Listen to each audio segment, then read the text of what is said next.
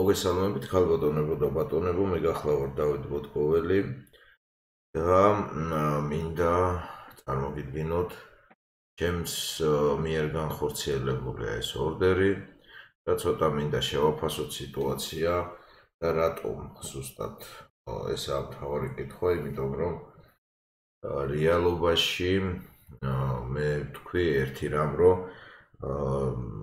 ჩვენ მე პირადად ხო? აი ჩემი მასტერ კლასიც მე პირადად უშუალოდ ვაჭრობ არა სკალპინგით არა უშუალოდ მოკლე მონაკვეთებზე ესე ვთქვათ არამედ ვაჭრობ ცოტა გრძელვადიანი პროგნოზი შეიძლება ეს იყოს swing trading-ი შეიძლება უფრო გრძელვადიანი და ასე შემდეგ. მოკლედ რაც მინდა რომ წარმოგიდგინოთ. პირველ რიგში ფუნტი დოლარის წყვილი რაც მე მქონდა ჩართული უშუალოდ, აი 4 საათიან გრაფიკზე არის ეს ყველაფერი. ფუნტ დოლარზე შევედი ამ წერტილში, აი ზედა წერტილი გავყიდე. სტოპ ლოსის ნიშნული აქვე არის განთავსებული ეს ისტორიიდან ამოვიღე და შესაბამისად ამას ვერაფრით აა ესე ვთქვათ, ვერ გადავასხვაფერებ და დღეს დავხურე პოზიცია, ჩავრთე გუშინ, დღეს დავხურე პოზიცია. და შესაბამისად ამ პოზიციას ქონდა თავისი შინაარსი პირდაპირ გაგებით, იმიტომ რომ ქონდა მე ახსენი ეს მომენტი, ზუსტად ქონდა ხარდაჭერის დონე, მოვედი წინაღობის დონესთან და შევედი, მაგრამ აქ კიდე ერთი საინტერესო დეტალი არის ჩვენ ჩემთვის რომ რეალობაში მხოლოდ და მხოლოდ ის რომ მხარდაჭერა იყო და წინაღობა გახდა და ან თუნდაც პირიქით წინაღობა იყო მხარდაჭერა გახდა ეს არ ნიშნავს იმას რომ შევიდე პოზიციაზე იქ კიდე დამატებით რაღაცები უნდა გააკეთოს ბაზარმა რომ რეალობაში მე დავინახო რა ხდება პოზიციაზე რომ მე შევიდე მე აქ ვთქვი რომ ა take profit-ი მქონდა აი ამ ლურჯ ხასთან ხო დღის გრაფიკზე.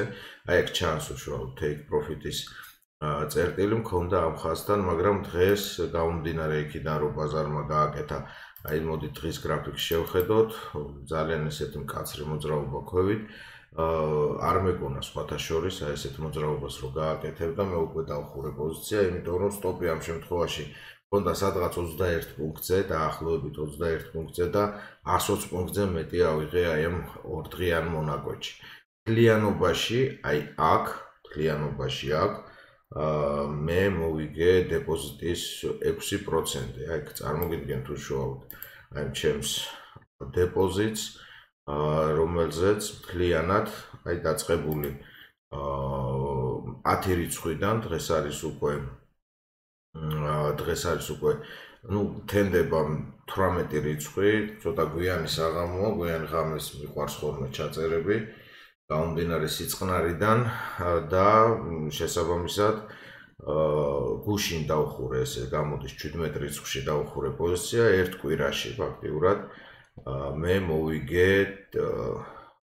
10 კლიანობაში 11 ის უკაცრავად 12% რო 12%-ზე მეტი ხო, ეხლა მოდი ისმის შეკითხვა, ხო, კარგი არის თუ ცუდია ეხლა ერთ კვირაში 12%-ს მოგება. მე ვფიქრობ, რომ საკმაოდ მაღალი არის ეს მოგება, გაუმდინარე იქიდან, რომ აქ მოგების მოგების ესე ვთქვათ, ციფრებს არ აქვს მნიშვნელობა.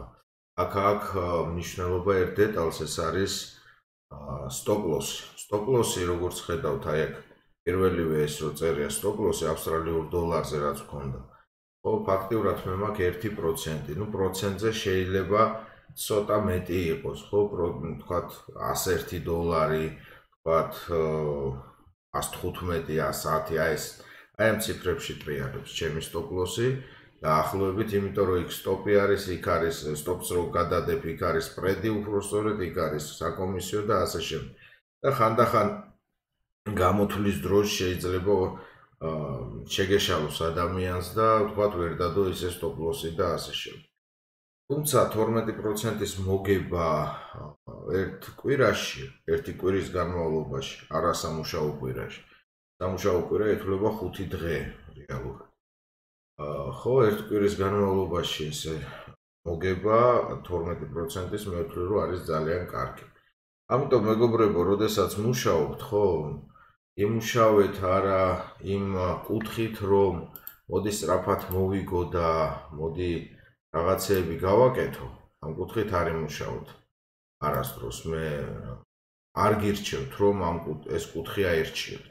სწრაფი მოგება, არამედ ჩვეულებრივ მიყევით თქვენს სისტემას, მიყევით თქვენს ხედვებს და ასე შემდეგ. თუ ხედვა გეუბნებათ, რომ მე მქონდა ახლა ხანს უბრალოდ უკვე გუშინ გარკვეული საუბრები ტრეიდერთან სამწუხაროა რომ ამ პიროვნებამ არ იყოს არასწორად განსაზღვრა რაღაცეები და საკმაოდ ესეთ ფსიქოლოგიური მომენტები გააჩნია მე რა თქმა უნდა არ ვასახელებ ამ პიროვნებას სხვადასხვა ფაქტორებიდან გამომდინარე თავისთავად ხო? და ქონდა ის მომენტი სამწუხაროდ ამ პიროვნებას რომ რეალობაში რეალობაში ესე ვთქვათ შედის იქ სადაც გონია რომ უკვე ვთქვათ აი 100%-ით უკვე მოიგებს. მე და ეს შესვლა არ არის ესე ვთქვათ ის შესვლა რომელიც რომელთაც ვთქვათ მან უნდა გადადგას ნაბიჯები იმიტომ რომ ეს არ არის მისი სავაჭრო მეთოდი აქედან გამომდინარე, ხშირად აი ტრეიდერების უმრავლესობა 99% ზუსტად აი ამ შეცდომას უშვებს, რომ თავისი თავისი მე ესე ვიტყვი, რომ თავისი სისტემის სიკეთეს არ იყენებს. პირიქით, თავისი სისტემის სიკეთეს პირიქით აკრინებს ხოლმე და ისეთ პოზიციებს ახორციელებს, რაც რეალობაში არ უნდა განახორციელოს. აქ საერთოდ მეგობრებო, დამიჯერეთ, რომ საერთოდ არ აქვს მნიშვნელობა ვიღაცა რა სიტყვის. აი მაგალითად, როგორ ანალიზს ჩაატარებს. ხო, ეხლა მე ბევრი ვიცი, რომ ბევრი ელოდება აქვს, რომ აი ვიღაცამ თქვას, რომ აი აქ თუნდაც მე, თუნდაც სხვა, მაგრამ აქ ამას მნიშვნელობა, რომ აი კონკრეტულად მაგალითად ფუნტი დოლარზე სად შევიდე. ხო, აი აქ უნდა შევიდე თუ იქ უნდა შევიდე, თქვა რა ციფრზე შევიდე, სტოპი სად დავაყენო, თეიქი სად დავაყენო და ასე შემდეგ. ამას მნიშვნელობა აბსოლუტურად არ აქვს. მნიშვნელოვანი არის მხოლოდ და მხოლოდ ის გადაწყვეტილება, რასაც თქვენ ღებულობთ. და შესაბამისად, თუ თქვენ არ გესმით, რა უნდა გააკეთოთ, ხო, ძნელია იქ, ვინც არ უნდა რა გითხრათ, ვინც არ უნდა რა დაწეროს ან კიდე რა აზრი კონდეს, ხო, აბსოლუტურად არ აქვს ამას მნიშვნელობა, იმიტომ რომ თქვენ აბსოლუტურად საპირისპიროს გააკეთებთ. რომც მართალი იყოს, ხო? მე მაგალითად აი ჩემ Facebook ჯგუფში რომელშიც ვაკეთებ ხოლმე ესეთ პატარა მცირე-მცირე ანალიზებს ხო რამდენიმე წყვილზე სუ ფაქტიურად ახლახანს დავიწყე ყველაფერი და სამი წყვილი განვიხილე და აქედან თქვათ ევრო დოლარი ფუნტი დოლარი და დოლარი იენი და აქედან მაგალითად ევრო დოლარმა აბსოლუტურად სხვა რაღაც გააკეთა და თუ თქვათ ადამიანი იქ ნუ ალტერნატიული სცენარიც მიწერია თავისთავად რამაც რასაც მე მეუყვებით ხოლმე ხშირად ალტერნატივებს. და თუ ადამიანმა ვერ გაიგო რომ რეალურად როგორ უნდა ივაჭროს რეალურად როგორ უნდა ივაჭროს სხვისი დახმარების გარშე ამ შემთხვევაში ჩემი დახმარების გარეშეც თავისთავად ხო? მაშინ ძალიან რთულად ექნება მას საქმე მეგობრო პირველ რიგში მე გირჩევთ კონდეთ თქვენი სავაჭრო მეთოდი არ აქვს მნიშვნელობა როგორი იქნება, არ აქვს მნიშვნელობა ვისი იქნება, არ აქვს მნიშვნელობა ეს თქვენი შექმნილი იქნება, თუ სხვა შექმნილი იქნება, მთავარია თქვენ კონდეთ თქვენი ხედვა ბაზარზე. ამ სავაჭრო მეთოდს აუცილებლად უნდა გააჩნდეს ერთი ძირითადი რამ, უნდა დაფუძნებული იყოს ბაზარზე. ანუ მე მაგალითად იყო შეკითხვა რომ რა არის ინდიკატორი, ხო? ინდიკატორი კარგი არის, გასაგებია და ინდიკატორულ სისტემას მე საერთოდ ყველანაირ სისტემას ვფიქრობ, რომ აქვს უფლება იარსებოს, თუმცა აი თუნდაც ინდიკატორული სისტემები, რომლებიც არსებობენ, ხო, არის ძლიერი ინდიკატორული სისტემები, მე ამას გეტყვით და არის ძალიან სუსტი ინდიკატორული სისტემები. აა თუნდაც გრაფიკულ ანალიზშიც იგივე აბსოლუტურად ანალოგიურია, თუმცა აი ინდიკატორული სისტემებს აქვს ერთი ძალიან ცუდი თვისება.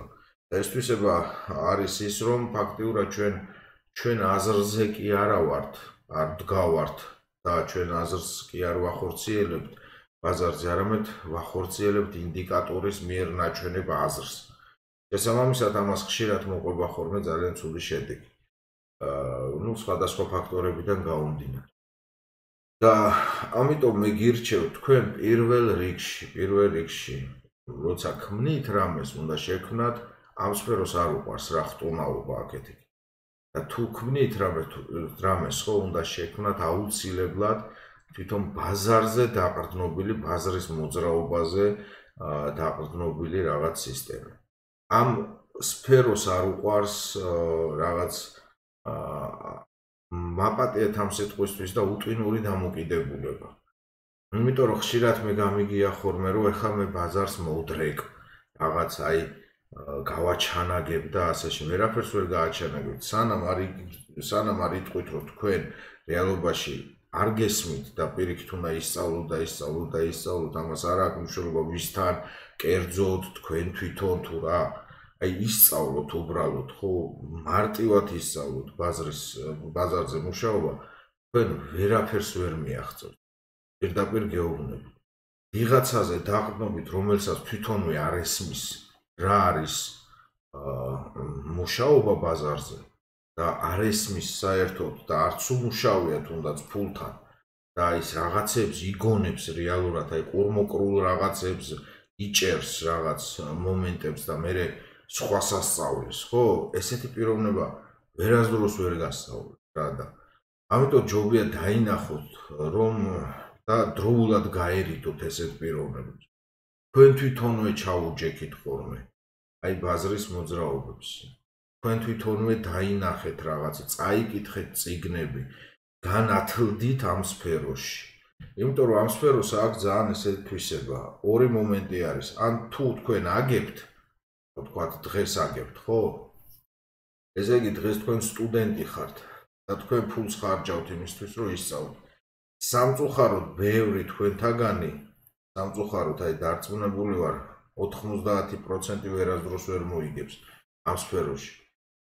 მაგრამ თუ გნებავთ რომ 10%-ში მოხდეთ, აი 10%-ში რომლებიც იგებენ ამ სფეროში და საკმაოდ წარმატებული ტრეიდერები არიან, ხო? ამისთვის საჭიროა ძალიან დიდი ძალისხმევა რა. ამ სფეროს, ეს სფერო როგორი მომენტი აქვს?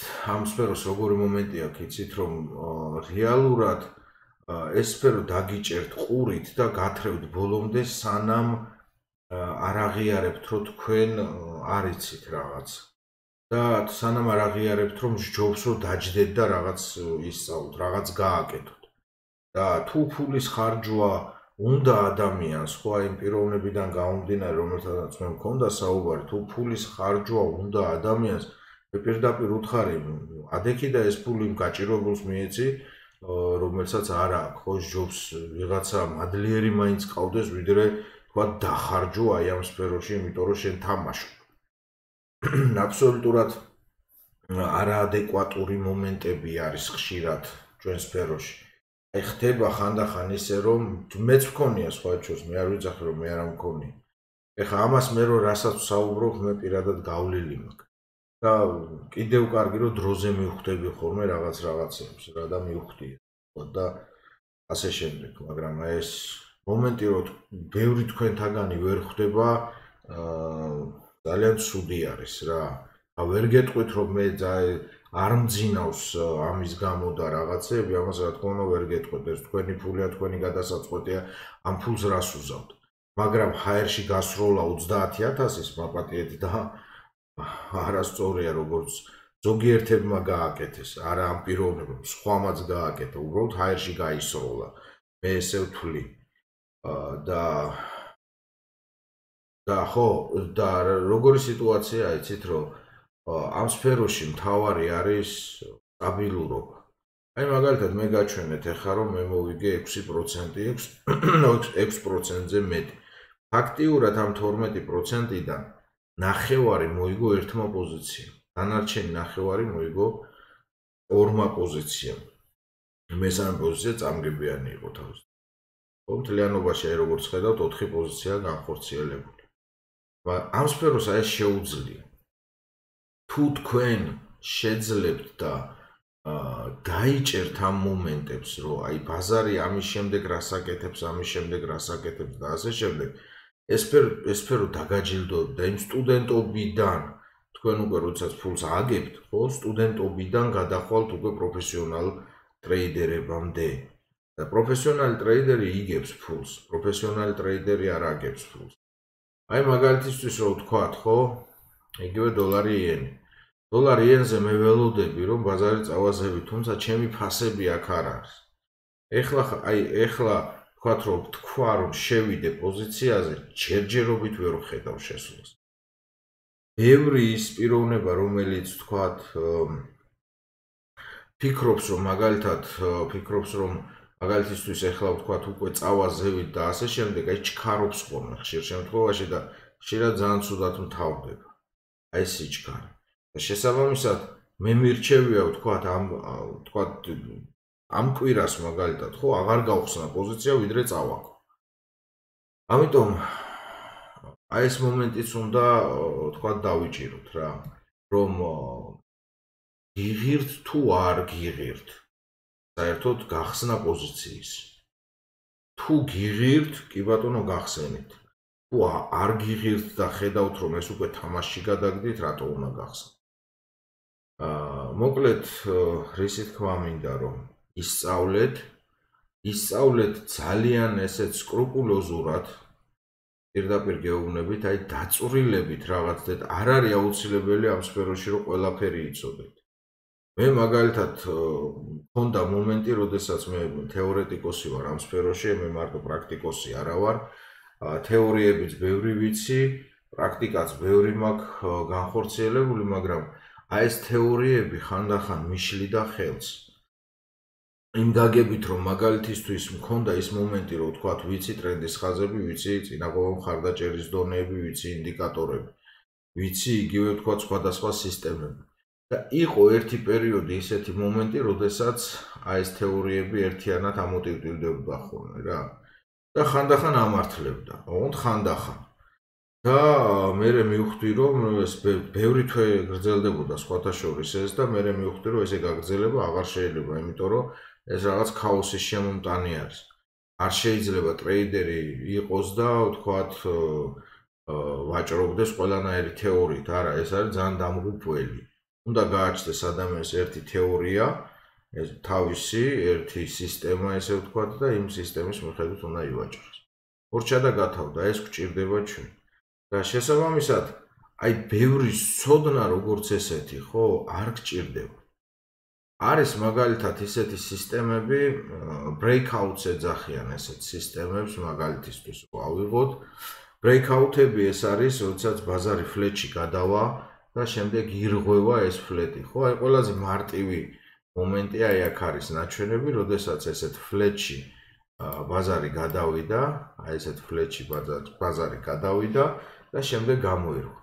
და აი თქვათ, ამ დროს შესვლა სელზე ამ ბაიზე, ხო? მაგრამ აქვე საინტერესო აი აქ ზევით უნდა შევსულიყავი თუ არა ბაიზე. აი ეს უკვე თუ თქვათ მე მიუყვები breakout სისტემებს, როდესაც ბაზარი ფლეტშია და შემდეგ გამოდის ფლეტიდან. ხო, აქ საინტერესოა ორი მომენტი. პირველი, როდის შევალ ბაზარზე? ეს პირველი მომენტი და მეორე, როგორ შევალ ბაზარზე? ანუ, როდის შევალ ეს არის ასხლეტიდან, თქვათ, შესვლა თუ გარღვევიდან შესვლა, ამას არ აქვს მნიშვნელობა.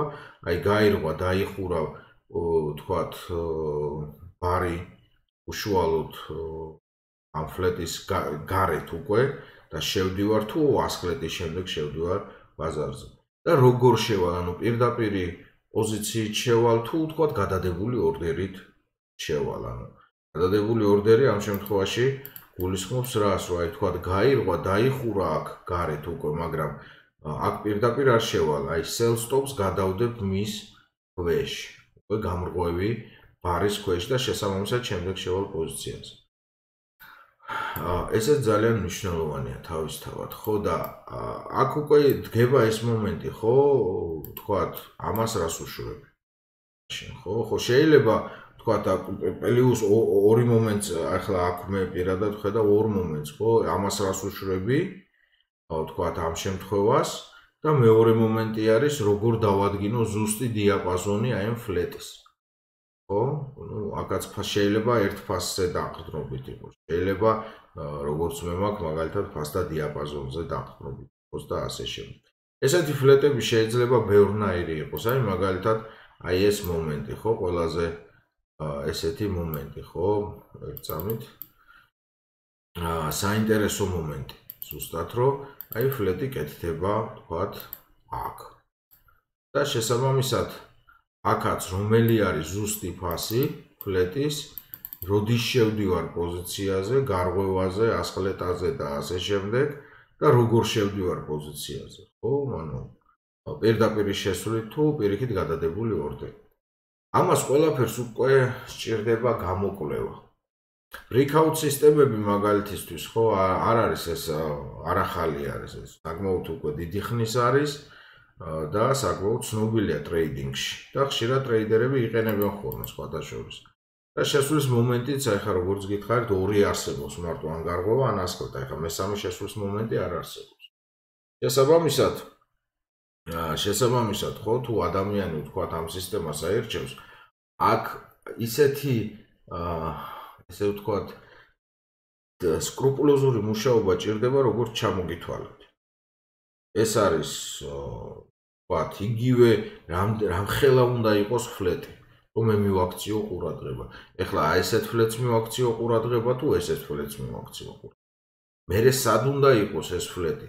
ამ შემთხვევაში შეიძლება ვთქვათ რაღაც ნაღობა მხარდაჭერის დონესთან იყოს, მაგალითად როგორც აქ არის, თუ შეიძლება ნებისმიერ ადგილას იყოს, ხო? ეს უკვე დაწვრილებითი მომენტია, რასაც უნდა მიაქციოთ თქვენ ყურადღება.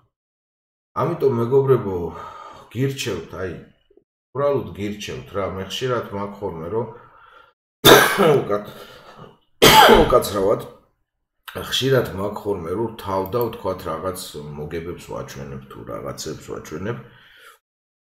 საბედნიეროდ მე მოტყუება არ ჭირდება, ხშირად არის მოტყუებები, ამასაც დაუკვირდით ხოლმე ძალიან გთხოვთ.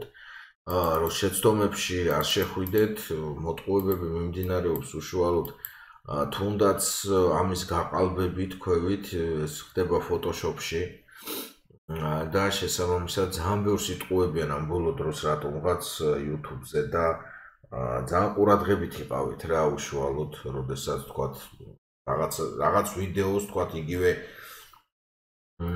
ბაზართან დაკავშირებულს უყურებ ძალიან ყურადღებით იყავით. და შესაბამისად, ხო, რატომ თქვა გამომაქ ხოლმე რა ეს ჩემი პოზიციები, რა განვახორციელე, როგორ განვახორციელე და ასე შემდეგ და ამავე დროს მე ძალიან კარგად ხვდები, რომ თქვენ შეიძლება რაღაც თქვა პრობლემა გქონდეთ.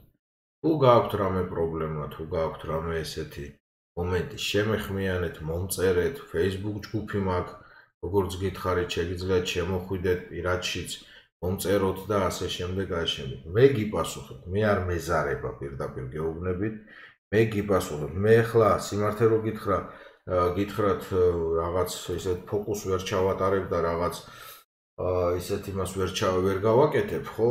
რაღაც სასწაულებს, ხო? როგორც სიტყვა სამჭკუაშვილი ვარო, მაგრამ რაღაც გზაზე მაინც დაგაყენებთ, რაღაც იმიტომ რომ აი გუშინდელი საუბარი ჯერმე ძალიან ესე ჩამრჩა ფაქტიურად გულში და რო არ მეთქვა ამ შემთხვევაში არ შეიძლებოდა რა იმიტომ რომ მე მესმის რომ ბევრს მაგალითისთვის ხო ეხა რა ფულსაც დებენ თქვა ამ სფეროში ბევრისთვის ეს შეიძლება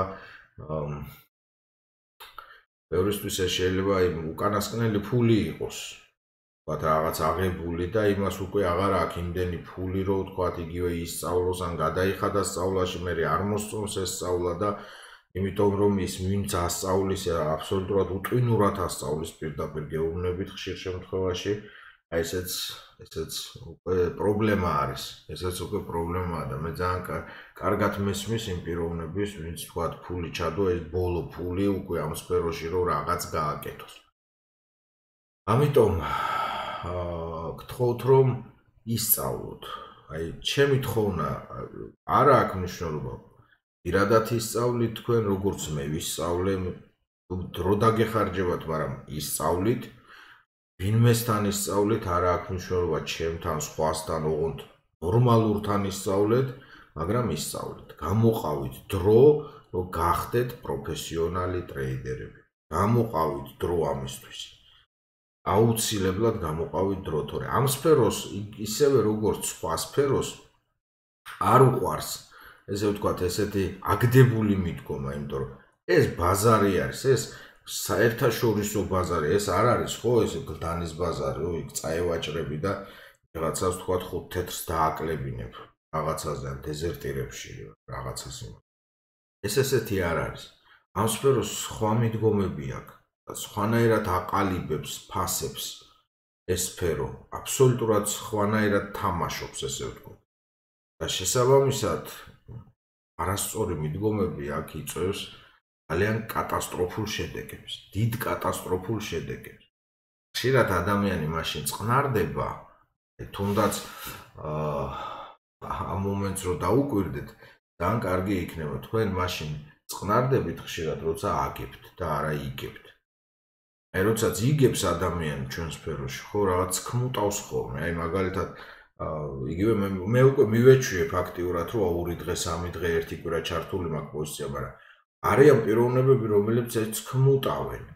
და აი უნდათ რომ გათიშონ აი 5 პუნქტს პლუსში ხედავენ და უნდათ რომ გათიშონ. აი 2 პუნქტსაც აი 5 პუნქტმა თუ თქვა უკან წავიდა და აა ერთ პუნქტიან მოგებაში არიან უკვე მორჩა. იქ უკვე მე ესე ვიტყოდი მათი ცხოვრება სრულდება. და ასე შემდეგ. ხო, აი 10 პუნქტს იგებენ, 20 პუნქტს, 30-ს, მიდის 100 პუნქტამდე და უკვე კორექციას აკეთებს და აუ უკვე 100 პუნქტის მაგივრად გააქვთ 50 პუნქტი, ну ეს უკვე ძალიან დიდი კატასტროფაა მათთვის. თუმცა ბაზარი კორექციები დადის და ამას ხშირად ვერ ითვალისწინებენ და იქ გამოდიან, სადაც არ უნდა გამოვიდნენ ხშირად და მე ბაზარი აკეთებს გარკვეულ სულებს, ესეც ფსიქოლოგია თავისთავად. ამიტომ აი ესეთი პრობლემები რო არ გქონდეთ, აი ესეთი აა არასწორი მიდგომები რო არ გქონდეთ, რო არ ფლანგოთ ფული პირდაპირ გაგებით, რო არ ფლანგოთ ფული.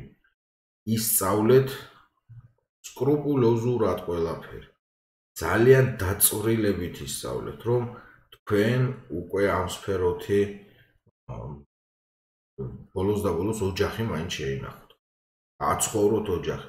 ეს სფერო მოგცემთ იმდენ შემოსავალს, რამდენის თქვენთვის წარმოუდგენელია. ეხლა არის წარმოუდგენელი. და კიდე ერთი დეტალი, რაც მინდა დავუმატო, არასდროს არ აიღოთ ფინანსური მიზნები. ამ სფეროს ესეთი რამე არ უყარს, რომ აი მე მოვიგებ ახლა დღეს 500 დოლარს. მე მოვიგებ დღეს რაღაც 17000 დოლარს და ასე. არასდროს არ აიყოთ ეს ფინანსური მიზნები. უეჭველი მოვიგებ, აი ეს სიტყვა უეჭველი აბსოლუტურად წაშალი თქვენი ლექსიკონიდან, იქ ხშირად მესმის. ხო, და შესაბამისად აი ეს ფინანსური მიზნები კი არ უნდა გქონდეთ, თქვენ თქვენ უნდა გქონდეთ ამ სფეროს შესწავლის სურვილი პირველ რიგში.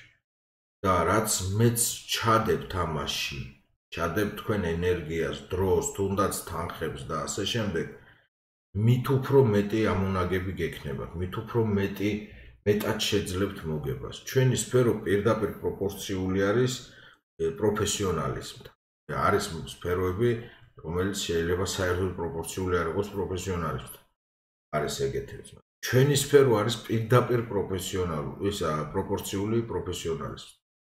იმიტომ რომ რაც უფრო პროფესიონალი ხართ, მით უფრო მეტი მოგება გაქვთ. პროფესიონალიზმი ამ სფეროში ნიშნავს მხოლოდ ერთ რამს. კონდეთ თქვენი სისტემა.